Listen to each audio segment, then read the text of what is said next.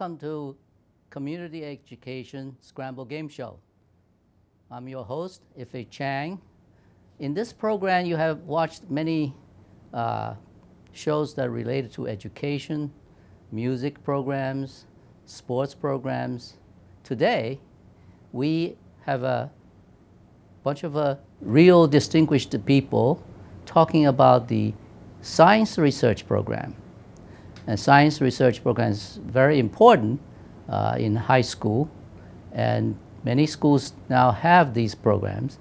So in the following hour or two, we will uh, bring these guests to our show and let them talk about this program and how important it is to students, to schools, and to parents.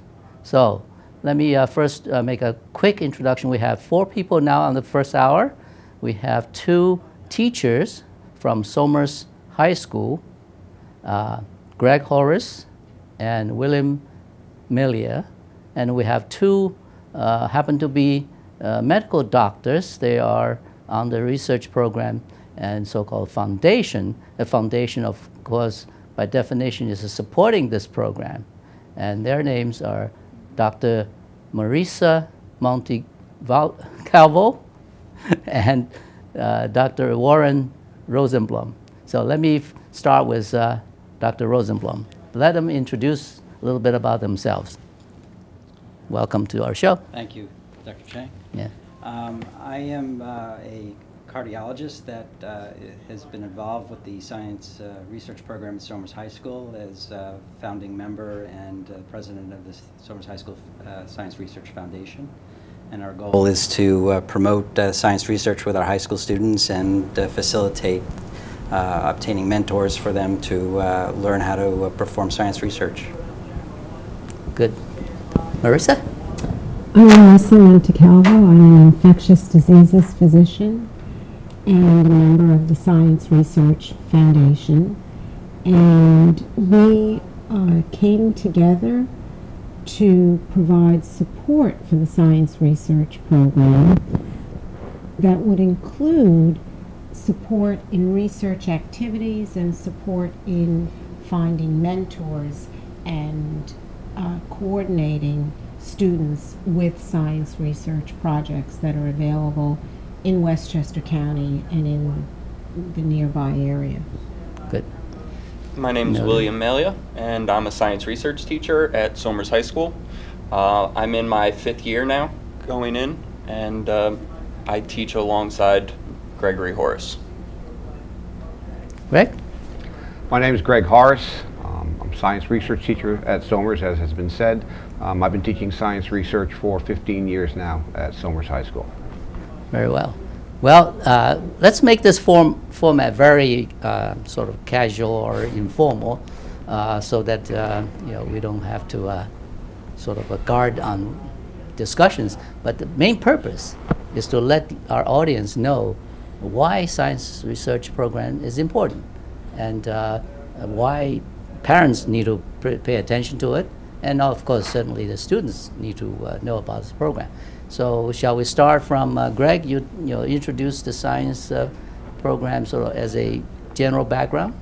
Sure. The science research program at Somers High School is a three-year program. Uh, students enter as sophomores. And the goal of the program is to have the students present in the Intel Science Research Competition, among others. There are about five or six different competitions that the Somers students do enter in. Um, essentially, in the first year of the program, we teach kids research skills. Um, we help them find mentors and teach them a little bit of scientific background in the area they're interested in studying. Um, hopefully in the summer between their sophomore and junior year, they can get into a laboratory and begin to collect some data. Um, during the junior year, sometimes they present their research and sometimes it takes them to the senior year. Uh, the nice thing about the program is it's pretty open-ended, so sometimes students present two times, sometimes they present one time. Um, I think it's really a, a good program for students to be involved in because it gives them a taste of what real science is. It's really an authentic science research course. Right. So th this uh, particular science program right now has this foundation supporting it. And is this foundation just recently started? Uh, maybe Warren, you expand yeah, on that. We uh, created it about a year ago. It was uh, um, Mr. Horrace uh, kind of reached out to the parents of uh, some of the children that were uh, participating to get their their assistance in whatever way we can to create a, a, way for the students to accomplish their goals easier. Um, my personal um, desire to participate was based out of the fact that when I was in high school, I performed science research. This is almost 30 years ago. I had an opportunity um, after my um, in, in, 10th grade to uh, work in a, in a, research lab in my high school at that time uh, had a research program. And uh, I didn't know what I wanted to do in life at that time, and I, it was something to do over the summer. And I spent uh, that summer doing research um, in um, at uh, Long Island University in the biology department, and and uh, which then progressed to to me continuing for the next uh, several years uh, in in other labs also, um, and it was an experience that really shaped my my career today. Mm -hmm. so I wanted to pay it forward, if you will, and, and give back by trying to assist the program you know, back in 1975 when I participated, our high school had a program set up where they offered uh, different mentors uh, to, to the students and uh, to choose from different topics to work mm -hmm. on, and uh, I was lucky enough to have that opportunity. Um, in Somers, it's been particularly challenging because uh, where I went to high school was in New York City, so I had ac easier access to some of these facilities. In Somers, it's been a little bit of a challenge for the students to find mentors because of the distance. And what we wanted to do was to kind of allow them to uh, be able to find mentors uh, as, as, as least stressful as possible. And Mr. Horrace, uh, you know, has been very good with the students and having them research topics and contact mentors on our own but it's a very stressful uh, process, and for some of the students, it's very difficult for them to find mentors. So we still wanted them to go through that process of trying to find mentors on their own, but we also wanted to facilitate it so the students would continue to be interested and not feel like if they can't find a mentor on their own, then they can't participate. So in the process, we've been trying to build up a um, kind of a reference list of, of uh, men potential mentors for the students uh, and to give them ideas and be able to still contact these men potential mentors and, and hopefully allow them to make it, the process a little bit easier. Mm -hmm. um, uh, we are, myself and Dr. Montecalvo and others that participate in the foundation have contacts in, in academia and medicine and clinical medicine and, and whatnot. And uh, we are trying to reach out to potential mentors uh, that uh, would might be interested in participating. Uh, it's purely voluntary. Um, it doesn't necessarily have to be within the confines of the Somers area. It could be right. um, in New York City. It could be uh, out of state, out of country. Even we've had students that have participated in research using uh, with mentors uh, that are far away and been very successful. Um, and uh, we, are hoping that with the foundation's assistance, there'll be more and more children interested in participating, more students interested in participating, and hopefully recruit more uh, mentors and also more people to help with the foundation. Right. So the the mentor is, is certainly a challenge to the research program, and uh, uh have you uh, uh, sort of created some methods or tools or any way to induce people to join us or how we uh, go about you know recruiting them. Yeah, well, we want to try and uh, I mean this is one format where we're trying to get the word out. Mm -hmm. um, we're trying to contact all the uh, parents and, and friends of people uh, that are in the school district and in the town of Somers, because there's you know that's an invaluable resource of potential people that are, are in academics or doing uh, you know, commercial research or clinical research, and uh, trying to get the word out to, to see if they uh, be willing right. to help out and participate. So, so. In, in, in, this process, uh, uh, of course, this is a one format, but you also have format that go through your uh, website and other means to reach out. Is, is there something that, uh, uh, Bill, you're doing?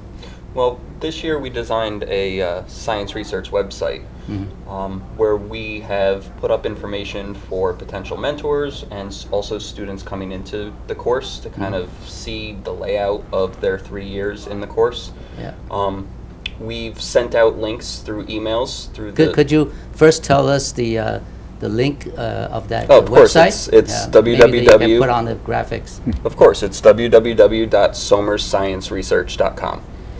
Okay. Um, we sent out an email to the parents of the school district. Uh, we had a link to the website in there.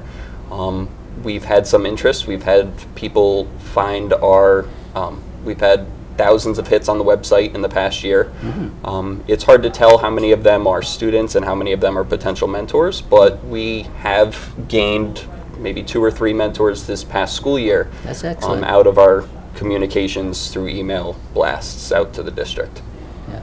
So uh, on the website, besides that sort of uh, uh, information for uh, attracting mentors, how do you uh, present sort of the the content or the meat of your programs? You do that through your website? Well, we have the syllabus on the website, so both students and mentors who kind of want to get a better idea of the program and what's involved in it, they can look at the three year outline to see what students are going to be expected to do their sophomore, junior, and senior years.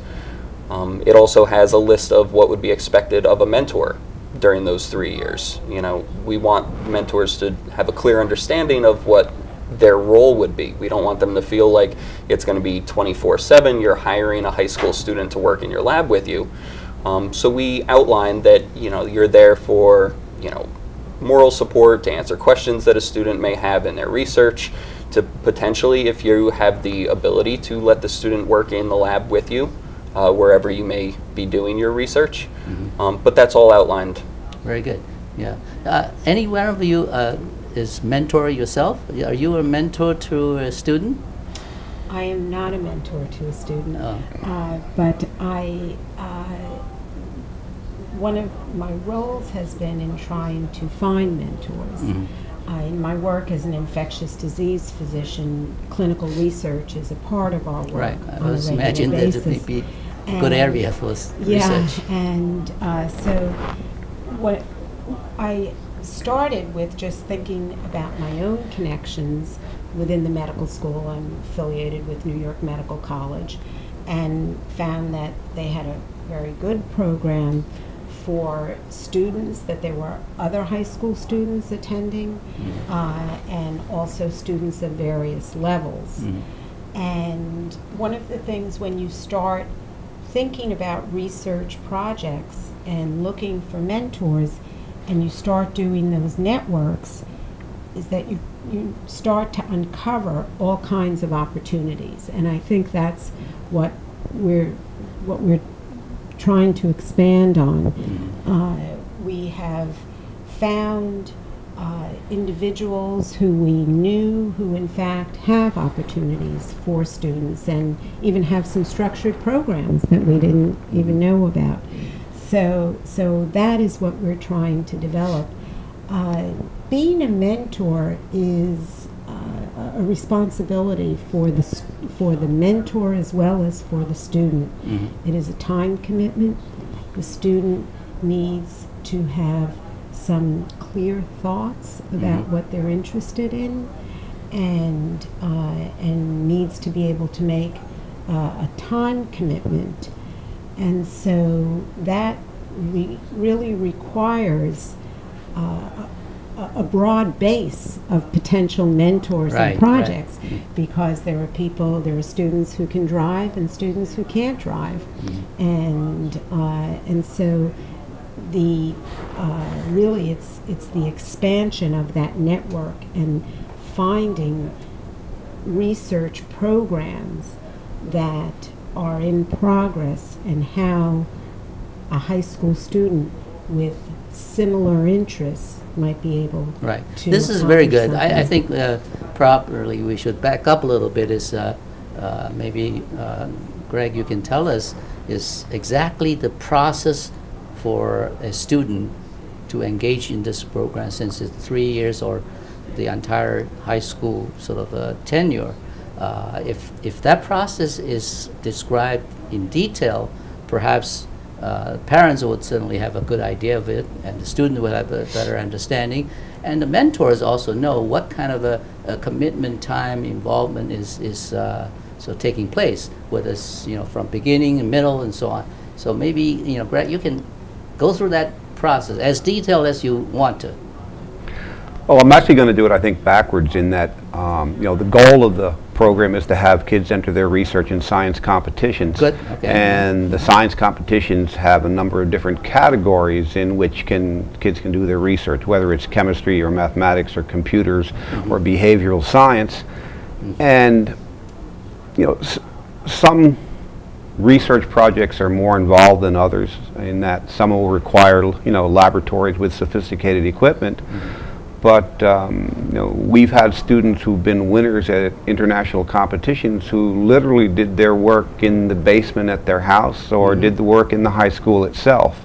And so, um, you know, it's it's a very open-ended process. And so, you know, our role as instructors of the course in the high school is to keep this in mind. And so when a kid walks in the door in the beginning of the school year, one of the first questions that we ask is, well, what are you interested in studying? What do you want to do?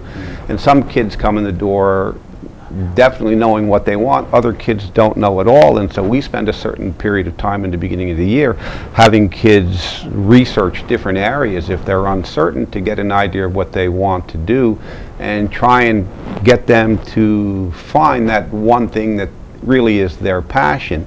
And then once they identify that topic, then we begin to have them start to read scientific journal articles so they can become familiar with research techniques, uh, research content, vocabulary, um, getting to know who some of the people in the field who are doing the work. And so, you know, that's where the mentor piece comes in, in that we have them first just start to read the work and actually make contact with the mentor and ask questions they have um, in an attempt to design an experiment. Um, you know, something I think that's uh, at least always been fascinating to me as a science teacher is most of the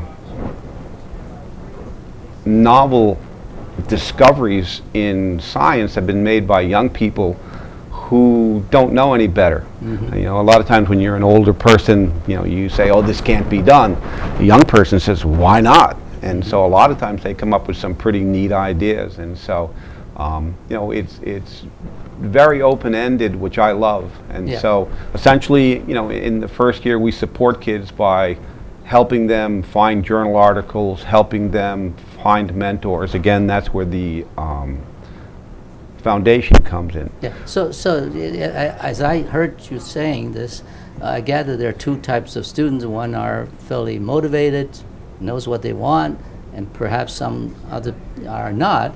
And of course, the program want to encourage uh, more people to uh, participate.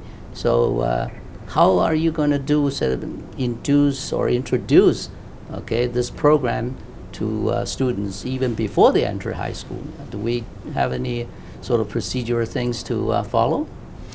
Well, we usually try to reach out to the freshmen when they come into the high school. Mm-hmm. We go into the freshman biology classes and we talk about the program and we say, you know, some of you may have a question. You may have identified a problem that you're interested in.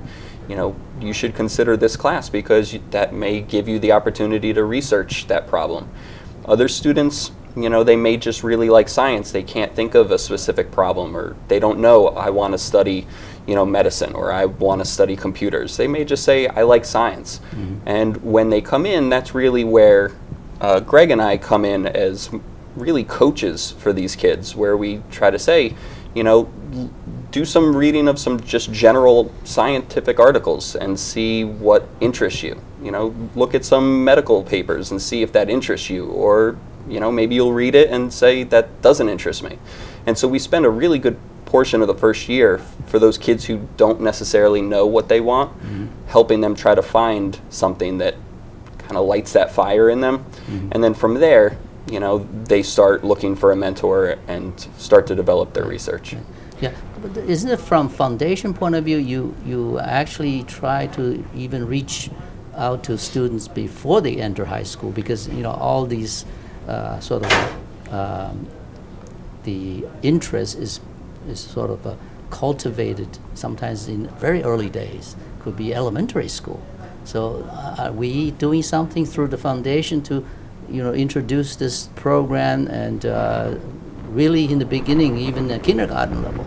Yeah, we're, we're trying to find opportunities at the middle school and, and the other schools in the district to be able to have an opportunity to speak to the parents uh, of potential st students that uh, haven't uh, reached high school yet and uh, make them aware of the program um, for two reasons. One, to get students interested in the program, and also for potential mentors, not just the parents of those children, but perhaps relatives or friends, or I might know somebody that is, a, is in academics and is doing Right. research and might be willing to participate.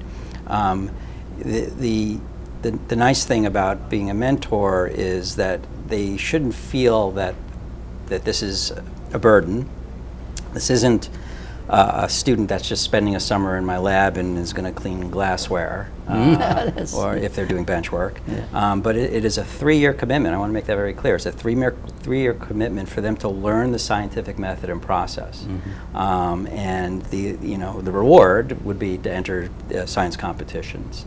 Um, but just the the fact that they're going to learn about science and research and what it's about will make will be invaluable to them.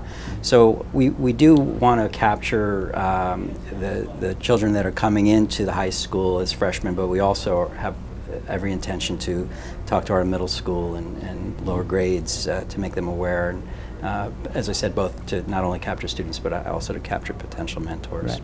Well, how, how do you uh, reach out, say, uh, to parents? Are you, you, you're a parent, you have a, a ch- child in this program? You, Yes, yes, I have How- how do you three do- actually. Two that will be Yeah. seniors, and one that is coming in for the first year as a Mm-hmm. sophomore, and the first of his three years. Uh, so your question was, how do you reach out? yeah, how do you get even you know, parents to be uh, uh, either informed or uh, you know, uh, sort of encouraged to encourage their ki- kids to uh, enter the program? Well, in, in terms of um, informing parents, Right. I think we've done several things really through the high school and through methods of communication through the district. But we want to expand on that. Yeah. And in fact, that's why we're here. Right. Uh, because that is very important. The parents of younger students, students who are not in high school yet, we, we really want them to understand what the science research program is, really to uh, begin thinking who they might know that we could then reach out to and see whether these people might have opportunities for potential mentors. You, you mentioned before that you know there are students who might be more motivated and less motivated, and how do you reach out? But when you mentioned that, I wanted to uh, say that sometimes the most highly motivated student might have a project that that can't get off the ground because of the lack of an appropriate mentor. Right. That certainly And is true. that yeah. very, very important. So if, if you're interested in kidney disease or Mm-hmm. you're interested in, um, in a psychological issue, it, it, it's a little difficult sometimes to find both someone who is has that interest of research. and capable of um, yeah, mentoring. has the time to take on a mentor because many many of these researchers are supervising uh, medical students, graduate students, students, uh, college students, students at all different levels of education, uh, and uh, and then of course the logistics have to work, right? You the Yes. student has to be able to communicate and get there or not get there. So I think, you know, we, we want to encourage younger students to begin thinking about this, but we also want the parents of younger students to understand the program and uh, and what it offers, uh, and to think about who they know, who they work with, who potentially might be someone that we could reach out to as we build a foundation of projects that are in our community. Uh, so that that Right. I, I was sort of uh, driving in a, in a slightly different direction is that um, sometimes the parents uh, and, and children may not have the same sort of uh, interest. For example, parents are, are not professional in science or you know, technology or so on. And therefore, they are not sort of tuned in in, in this kind of process themselves. Uh, yet, their kids could be potentially, you know, uh, you know, great science student and, uh, and potentially a, a great scientist. Now, I, how do we sort of catch that? That's where I'm, Yeah. you know, concerned is. Yeah. Uh, let's say a high school has thousands of students and uh, you know that many parents. What is the process we, we really make sure we cast the net out broad enough that uh, you know we, we really get all these good students in? If I can comment Sure, uh, on that, um, whether your parent is a scientist or not is, is irrelevant. I Yeah, mean, you know, certainly. yeah, I agree with that. yeah. Um, The Somers School District, I think, has a very strong science program, Hmm. and we we do a good job teaching science. We have a very good lab program, Hmm. and for the students who are interested in science, um, they are encouraged by their science teachers to continue in science in whatever aspect that they, Right. that may be. But all of the teachers, middle school, high school, are very aware of the science research program, and they constantly encourage kids to take the program. The guidance department continually encourages students to take the program. Um, you know, the program has grown essentially from four students to now we have 54 students, and it's continuing to grow. Um, I was in school today doing preparation work, and a young lady walked in the door and she told me she was signing up for the course. And so, you know, you were talking about sometimes how do we advertise the program. Um, despite our best efforts to advertise, and we do a lot at different levels of trying to say this science research program exists in the district, parents, students, they miss it, but through word of mouth within the school, kids find out about the program and they come in. Um, I have a number of students who come in the course not just as sophomores, they come in sometimes as juniors. Yeah. Um, I've got a kid this year coming in as a senior. Um, I had a student come in a couple of years ago as a senior who went to Intel with, or uh, not to Intel, but to ISEF with her research. And so, you know, three years makes it a lot easier. This young lady worked herself to death, but, you know, people do come in late. The school district is very good about encouraging kids at any time to come into the program. And so um, there's a lot of support from the school district that way. So I, I So want to you, just you, mention you that. ment- mentioned Intel a couple of times. Uh, is that a strong motivator uh, for uh, sort of students to engage in this kind of program, to participate uh, participate in competition or to win something? I- is that the main driver? I think everyone likes to win if they can, but I, I think that, you know, the, the I, I don't feel that um, winning a competition is what drives a kid when they walk in the door as a sophomore. I think curiosity, love of science, um, something different. I mean, you know, one of the things that I tell kids in school is, is science research is not a course with a textbook. You know, some kids are very good at opening a book to page 79 and answering questions 1 through 10. But this course isn't like that at all because mm-hmm. what I want to know is well, what do you want to do? What are you interested in? And so a kid has to have that intrinsic motivation when they walk in the door, at least the intellectual curiosity. Mm-hmm. And if that's there, then we can hook them and there is in high school this community of kids who participate in science research where they get to know each other because at the competitions they're next to each other for hours presenting their research mm-hmm. and they hear each other's work and it's it's kind of neat to watch that scientific community of high school students start to grow So the and I think that that's I think that's really more important to the kids I- initially I'd just like to say one thing. Yeah. Uh, You know, the, the creation of the Science Research Foundation wasn't out of the need uh, because this program was struggling. Yeah. It was the opposite. Right, It's, it's, understand. it's thriving. um, and So the, the need need for the s- foundation is to be able to uh, accommodate all the students with mentors. Um, as Mr. Horrace said, his program has been growing, Growing, yeah. almost exponentially uh, each year, Mm-hmm. and it's, it's an extremely popular program. I think that all the students are aware, whether they choose to participate or not, are aware that we have a science research program that's been very successful. We've had recent uh, uh, great success in, in some of the competitions uh, in the past couple of years, um, and so it's becoming even more popular.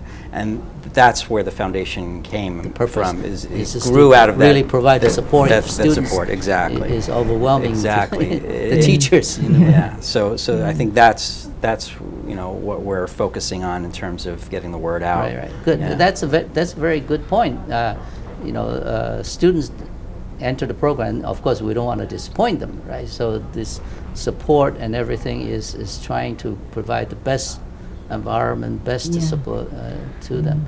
Now, this competition uh, wise, they must serve a purpose in a way of uh, uh, whether it's a, a gauge of measurement, you know, how students can uh, handle research, present research, uh, you know, and uh, enter a, uh inner course of, uh, of discussion and so on. Uh, I assume uh, we have local level, state level, and so on. These are useful, right? It's even though we're not saying that's the ultimate goal, but it's certainly it's part of the process. Every student who enters the research course is required To pre- participate. to present their research at a competition. Um, we are fortunate enough in Westchester County to have the Westlake Science Fair, which is uh, sophomore only or first year student competition. Right. And every student in the Somers Research Program is required